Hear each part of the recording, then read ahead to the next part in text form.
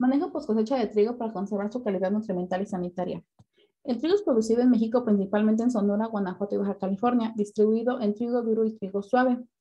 El trigo es de las principales especies de cereales utilizadas para el consumo humano. Debido a esto, juega un papel de gran importancia en la seguridad alimentaria. Por esto, su manejo tiene gran relevancia. El manejo post cosecha comúnmente inicia desde la cosecha. Comprende varias fases, recibo, clasificación, limpieza, secado, aeración, refrigeración y monitoreo, incluyendo el comportamiento del mismo en cuanto al desarrollo de hongos e insectos. El objetivo de esta investigación bibliográfica fue realizar, con información recabada, un manual para apoyo a estudiantes de ingeniería agrícola e ingeniería en alimentos, además de contribuir al conocimiento y a la difusión de la aplicación de estrategias mejoradas de conservación post cosecha. A partir de esta revisión bibliográfica y la formación de este manual, es posible ver en qué situación se encuentra México en cuanto a la materia de manejo post cosecha. Aún hay un largo camino por recorrer y llegar a una meta donde la población sea consciente de todo lo que implica, el porqué de su realización y la forma correcta de hacerlo. Pero aunque suene difícil, no es imposible. De igual forma, es importante saber por qué en el día a día de los campesinos no es muy normal que se lleven todos estos pasos o que únicamente se cumplan algunos de ellos. La primera fase es la preparación, donde se incluye la limpieza, el uso de agroquímicos y se evita mezclar el grano nuevo con el grano ya almacenado. La segunda fase es la recepción, donde se realizan los muestreos. La tercera fase es la clasificación, donde se realizan análisis de calidad física del grano y cada clase será definida por sus características. La cuarta fase es el secado, que puede ser natural o artificial, donde incluye el flujo cruzado, el secado de caballetes y el flujo mixto. La quinta fase es la aireación, donde permite mantener la temperatura del granel lo más bajo y uniforme posible. Existe el sistema de presión positiva y el sistema de presión negativa. La sexta fase es la refrigeración. Consiste en disminuir la temperatura de los granos y la actividad del agua. Puede ser natural mediante la aireación y artificial por equipos frigoríficos.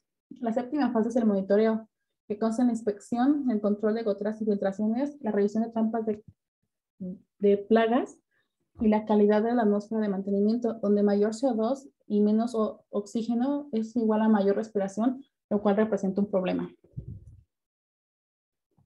En cuanto a los factores bióticos, están los hongos, que pueden ser de campo y almacén. Los hongos de campo van a requerir humedades relativas entre el 90 y el 100%, en los que están Cladosporium, el Mintosporium, Alternare y Fusarium. En cuanto a los hongos de almacén, requieren entre 65 a 90% de humedad. Entre ellos están Aspergillus y Penicillium. Algunos de estos hongos pueden producir micotoxinas. Las micotoxinas son compuestos tóxicos, como el dioxinivalenol, cearalenona, ocratoxinas, fumonicinas y aflatoxinas. Existe la prevención de las micotoxinas mediante limpieza, secado y uso de variedades resistentes. Y también existe la detoxificación, que puede ser por la irradiación, plasma frío, luz pulsada, entre otras. De igual forma existen los insectos, que son diseminados por tres vías principalmente, en campo, planta de acopio y migración. Existen las plagas primarias y las plagas secundarias. Estas van a causar daños directos o indirectos. En cuanto a la ubicación de los insectos, no hay una respuesta clara, pero existe la hipótesis de que prefieren el centro de la masa. En la experiencia real, en Guanajuato no se siguen las recomendaciones de las buenas prácticas agrícolas de post cosecha a partir del secado. El secado se realiza en campos a un nivel de humedad mínimo de 14%. Se llega a esta decisión debido a que este cultivo ya no es visto como una manera de subsistencia, sino de ahorro para, para la siembra que les importa, es decir, en el ciclo primavera-verano.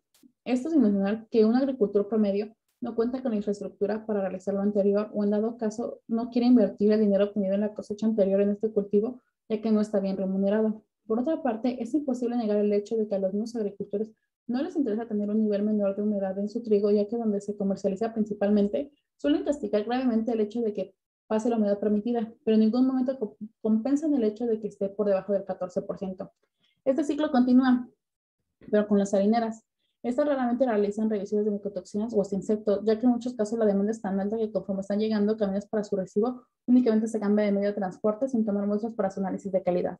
Finalmente, en México existe una falla sistemática que sea difícil de erradicar, pero como se mencionaba anteriormente, no imposible. Existe una forma de cambiar esta situación con la educación, con el acercamiento de la ciencia y tecnología a la gente dedicada a la agricultura y a los consumidores, que son ellos los que tienen el poder de exigir.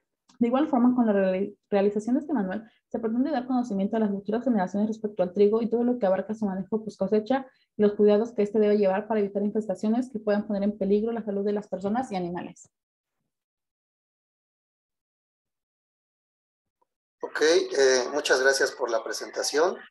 Este, nuevamente le pido el apoyo a la doctora Cristina Pérez para hacer algunas preguntas. Eh, como nos sobró un poco de tiempo en, la, en el cartel anterior, tenemos ahora siete minutos para hacer preguntas. Gracias. Ah, muchas gracias, eh, maestro Juan. Eh, buenas tardes, Aranza. ¿Tú eres alumna de Ingeniería en Alimentos o Ingeniería Agrícola? Buenas tardes, yo soy este, alumna, bueno, egresada de Ingeniería Agrícola. Ah, muy bien.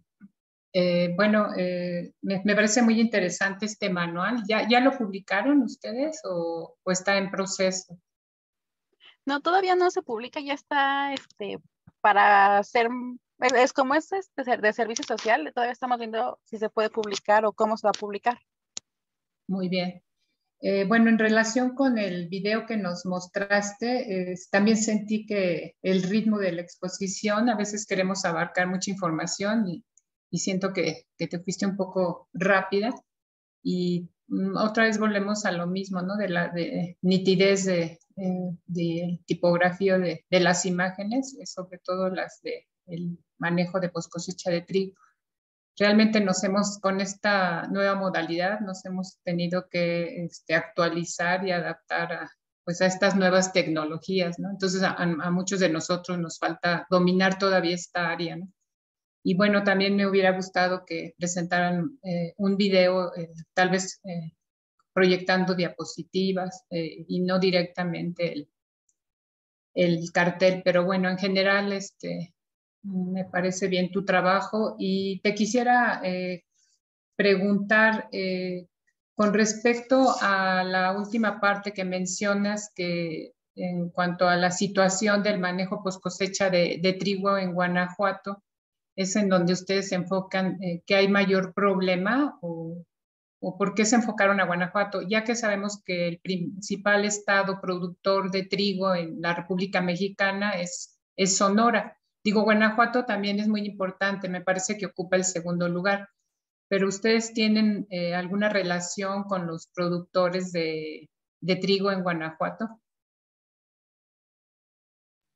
Bueno, eh, el este trabajo se centró en trigo porque ahorita es, bueno, me encuentro trabajando en esta zona, entonces me ha ah, sido posible vivir de primera mano los, lo que pasa con el trigo, por eso está centrado hacia Guanajuato.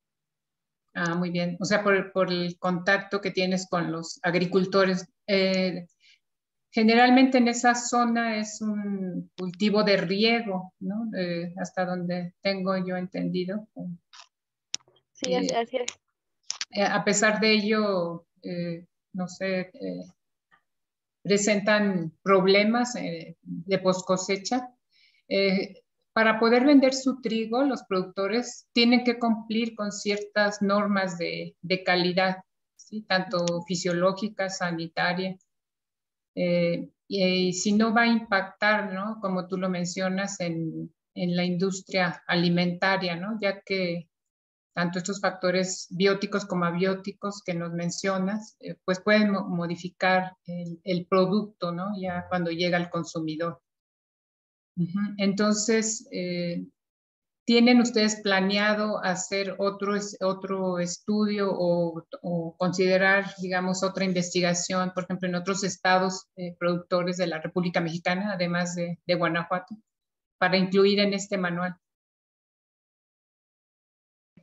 Pues a, mí me gustaría verlo en Sonora, porque pues, como nos ha mencionado, pues es el máximo productor y ver ellos qué problemáticas tienen, pero solamente sería una, un problema de movilidad y de que haya alguien que, o sea, que, pues, pues sí, de movilidad y de poder trabajar allá y vivirlo de primera mano. Ah, muy bien.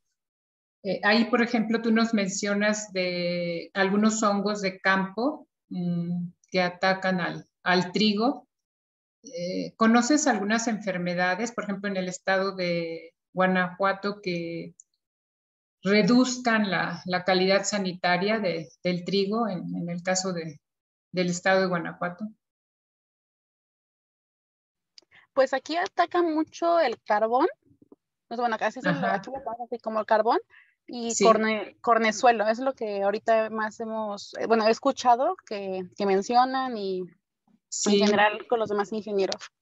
Tiene mucho problema, ¿no? Con carbón y claviceps sorgi, ¿no? Que era una enfermedad que no teníamos aquí en, en México y por los 80 se, se introdujo, ¿no? El, eh, claviceps sorgi.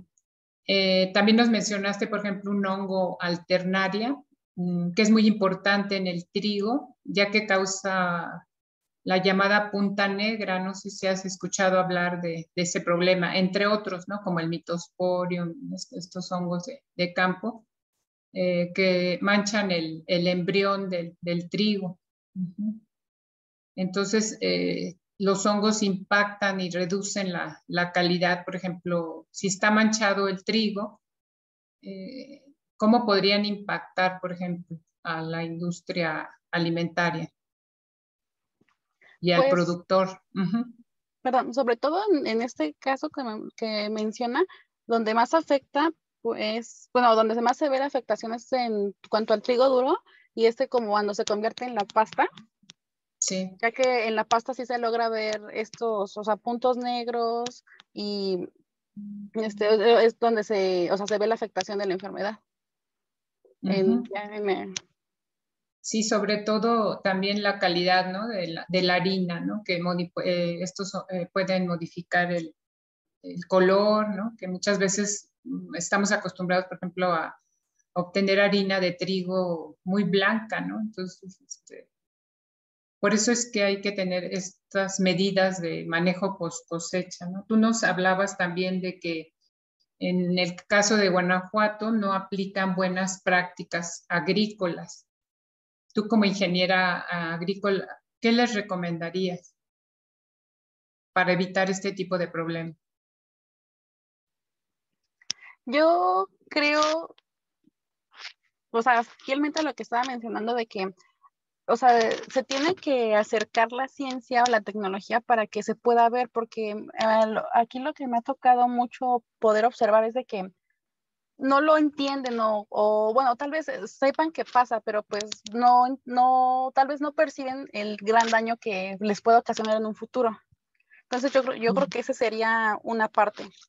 Y es, o sea, como también lo mencioné, es innegable o o es imposible decir que háganlo o que ellos sepan porque al fin y al cabo la agricultura es una actividad económica y si no les es bien remunerado su actividad, pues no, o sea, ellos mismos no, o sea, no lo ven como algo que sea un buen negocio, por lo tanto, o sea, aunque les pueda decir muchas cosas, no, o sea, tal vez eh, tendría que ser desde ahí la primera forma de hacerlo.